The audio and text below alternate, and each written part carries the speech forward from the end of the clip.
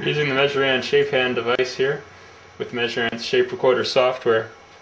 I'm going to set it up for output with Quest3D. Just go to the output options there.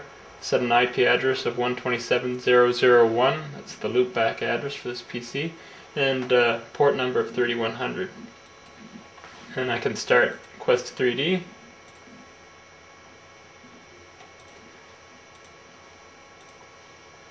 And I've got a, uh, a channel group that I've saved previously with the ShapeHand glove device, glove channel already part of that.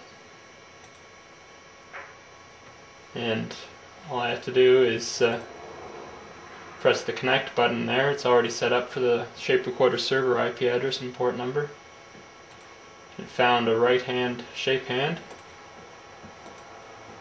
And then you can look at the animation 3D view.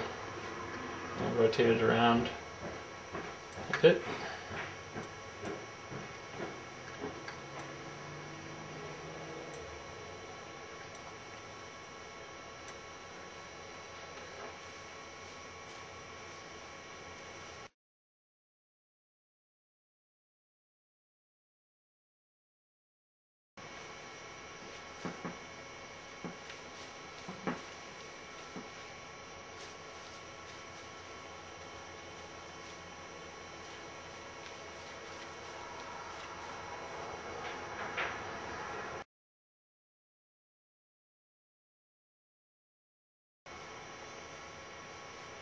That's basically all there is to it. It's it's quite easy to use.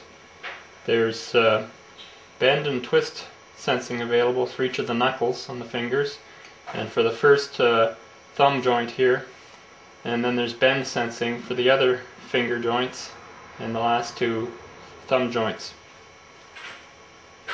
And there's also uh, yaw and pitch sensing for the hand. So you get uh, all the degrees of freedom for the hand uh, imported into the Quest3D plugin.